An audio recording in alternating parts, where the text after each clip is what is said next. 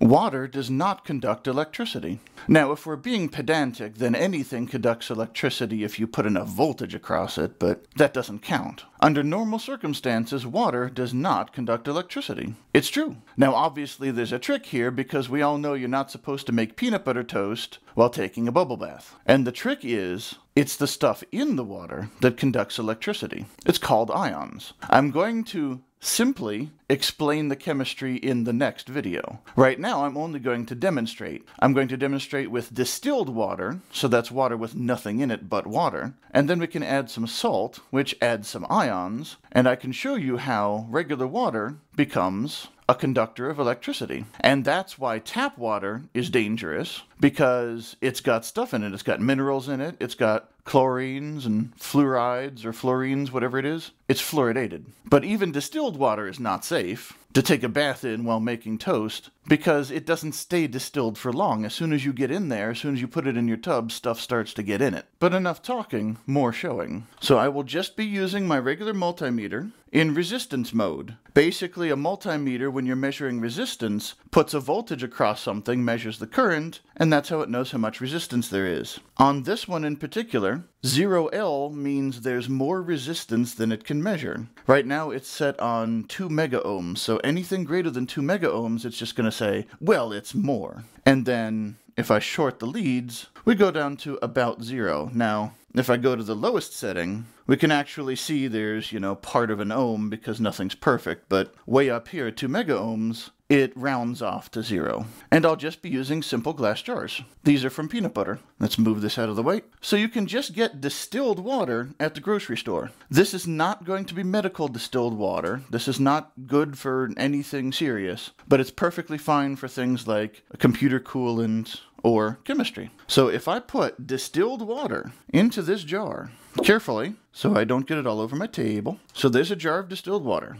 Always test your leads, make sure nothing's disconnected, so they short to zero. And if I stick them right in this water, nothing happens. So as I was saying, nothing happens. I've got these probes right in here, sensing all the way up to 2 mega ohms, and it's more than that. So what just happened? Why did I look like a fool? Because in my testing, that didn't occur to me. These probes that I've been testing with still had salt on them. So salt ended up in the distilled water. So I switched to my other one because that one didn't have salt on there. Anyway, like I was saying, nothing happens. No conduction. Not at all. Right there in the water. Put them right next to each other. If I short them in the water, let me try and short them in the water. There we go. See, they're touching each other in the water, but as soon as I separate them at all, nothing. It climbs up and up and up as it's measuring, and nothing. But then if I put the other probes in here, see, it starts to conduct very little, and that's a much higher number than it was before because I tried to wash these off. Apparently, it's harder than I thought to wash salt off of multimeter probes, but that just skipped ahead of the demonstration. You saw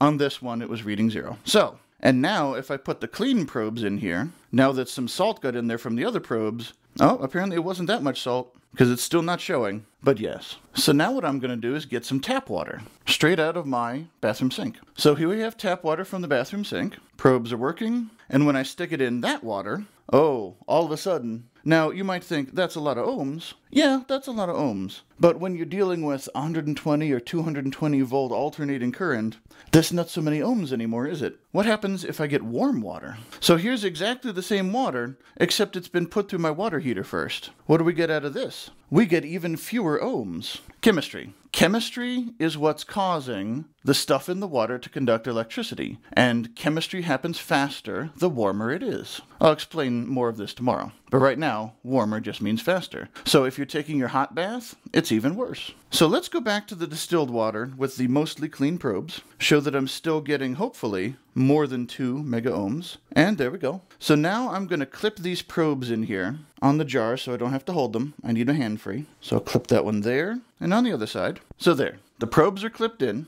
and it's showing more than 2 mega ohms. And I have here some salt. This is sea salt. You just use regular sodium chloride, any salt, table salt. And I am going to drop one single crystal. Crystal is this big, so not even a gram, I wouldn't think. Now, there's a lot of molecules in there, but it's just one. I'm going to drop that right in there. Just a tiny piece of salt. And I didn't even stir it. Didn't even stir it. And look, now we're down to only 1.9 mega ohms and dropping. I shouldn't put my hand in front. Look at this. That one single crystal of salt is starting to dissolve, and we're measuring resistance dropping. Let's put some more in.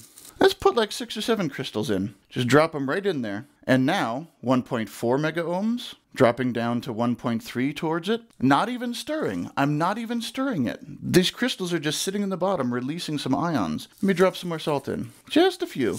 That's probably about 20 crystals or so total, maybe 25. It's the salt. The salt, not the water, is conducting electricity. So now, let me go ahead and stir it up. Help it dissolve. Oop, heading down past 3 towards 2. Not even as much salt as you'll find in your grocery store macaroni and cheese. And most of this salt is not even dissolved. It's not showing on this crappy camera, but there's a bunch of crystals at the bottom, not even dissolved. We're down to 251 kiloohms. 251 k ohms. Stirred up a little more. 215 k ohms.